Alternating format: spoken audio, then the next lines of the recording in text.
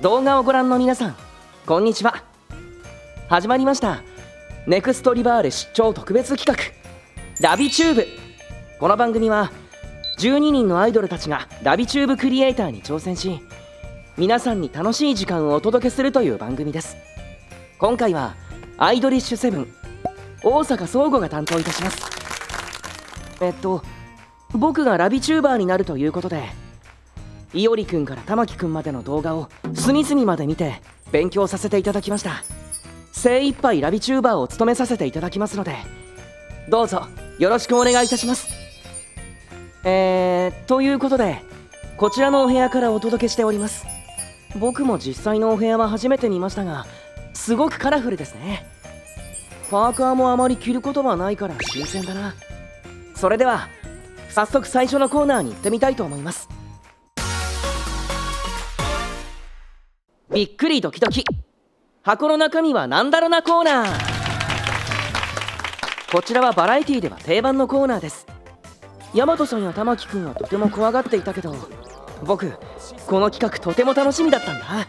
あ先にルールの説明をしますね。回答権は3回まで。3回間違えると罰ゲーム。ヒントは1回で中身に関する質問ができる。正解するまでか回答権を使い切るまでのタイムを測り他のみんなと競うとのことです。ここは絶対正解したいところだね。罰ゲームはセンブリ茶でしたよね。林道家センブリ族の2年草で薬草としても利用されるという。はい。良薬口に逃がしと言いますし飲んでみたいところなのですが勝負には勝ちたいと思います。あそれから今まで挑戦してきたメンバーのタイムはこちらです。今回は何が入っているんだろうね。早速チャレンジしてみたいと思います。せーの。よしっと。あ結構体勢取りにくいんですね。玉木くんがおまじない聞かなかったって言ってたけどこれは確かに怖い人は怖そうだな。あ何かありました。なんだろうこれは。シリコンでできてますね。こっちはプラスチック？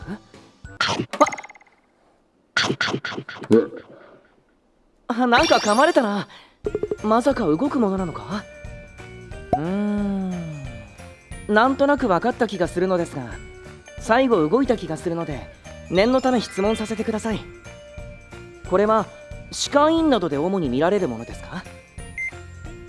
あ やっぱりそうなんですね動いたと思ったのは気のせいだったのかな。それとも改造されているんだろうか。あすみません。質問したつもりではなかったんですけど。確認のためにもう一度触ってみますね。よっと。うん。やっぱりこの感じはあれですね。動いたと思ったのもやっぱり気のせいだったな。ちょっとパカパカさせたりして。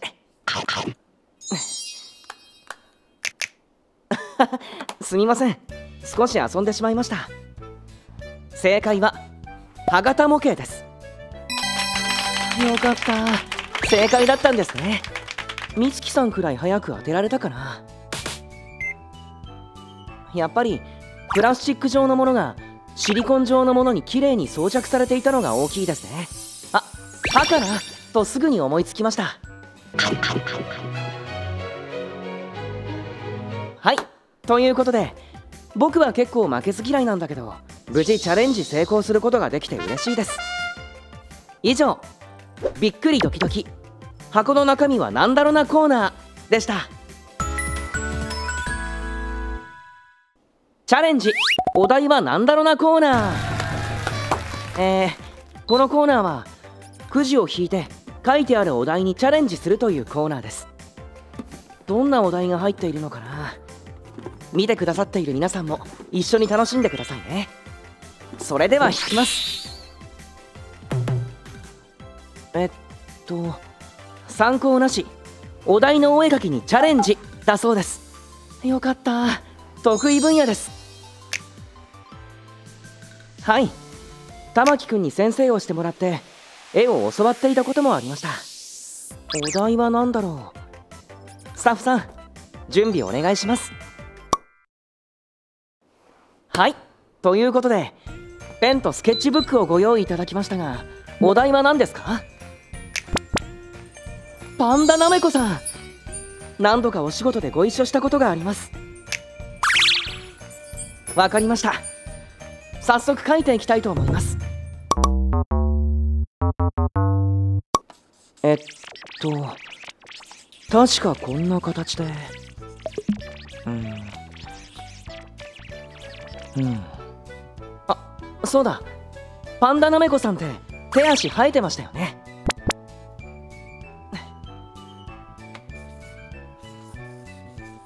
よし。書けました。こちらがパンダなめこさんです。こちらがパンダなめこさんです。こちらがこちらがこちらがパンダなめこさんです。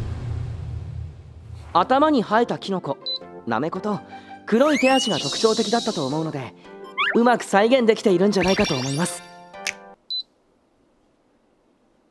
あはい。成果出ているでしょうか。玉木くん見てるかな。頑張ったよ。そうじゃ。あはい。無事パンダラメコさんも書けたしチャレンジ成功できたんじゃないかな。またこんな風にみんなの前で絵を描けたら楽しそうだね。ありがとうございました。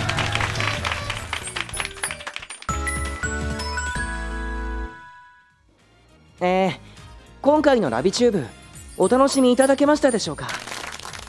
よろしければお気に入り登録よろしくお願いいたします。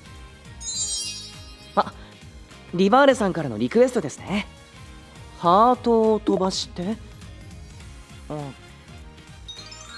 こうでいいのかな？